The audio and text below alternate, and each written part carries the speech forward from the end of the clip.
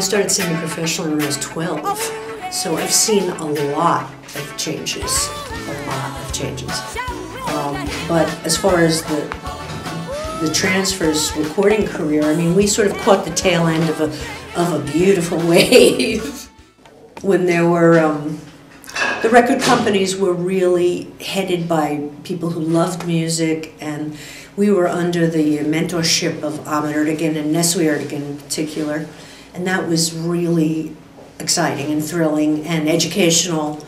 And Atlantic Records in its heyday was historical. I mean, there were so many great musicians and, and, and people up there. In those days, there were, there were a lot of opportunities to. Uh, to play at clubs. You know, you could come in on every Monday night and be part of a hootenanny type situation and really work work your your music out in front of an audience and get feedback and meet people and network and you know the, the village was still great for that.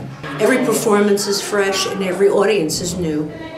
So the, the trick is to really do the whole zen thing and keep in the moment with every with your life in general but especially with, with because part of what i do is is based on consistency as a harmony singer that is my skill to sing the same part the same way every night to sing the correct part every night.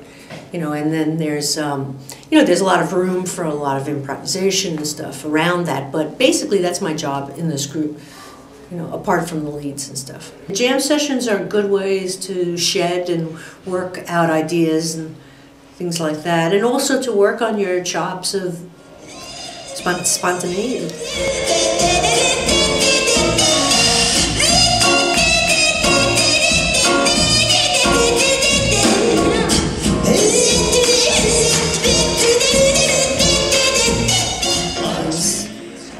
a real challenge. I mean, talk about having to be in the moment. It's like I've I've struggled with it for years, and um,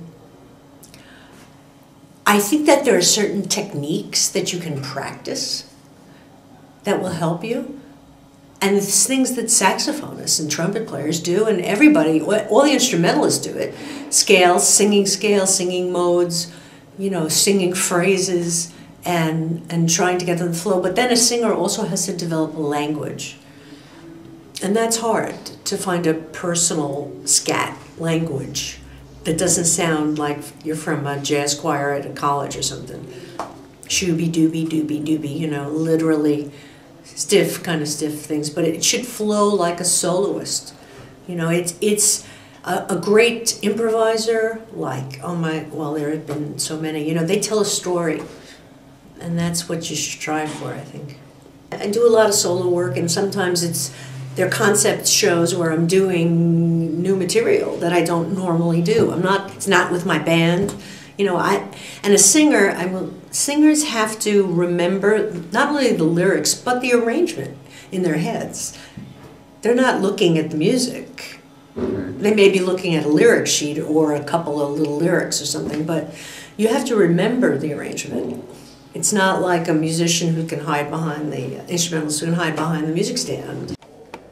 So there's a lot to be nervous about. I had a group called the Young Generation, and we um, made records in the New York area, singles, you know, pop music. And uh, our first single was called um, The Hideaway. It was on Redbird Records. And I remember we did it, uh, we recorded with the full orchestra there just and one microphone three of three we were three girls three 12 year old girls. We sat we stood in front of the microphone and sang the song a couple of times and that was it. And these days with with digital technology i mean you can have all that raw material of the track and singing and then you can rearrange things in an incredible way and do things that you were never able to do or that were too time consuming to do. It's it's pretty great. I love the studio. To me, that's my milieu, that's my place of play, preferred place, because it's about the music, period. There's no audience. Mm-hmm. and it's just the creation and using the studio as an instrument.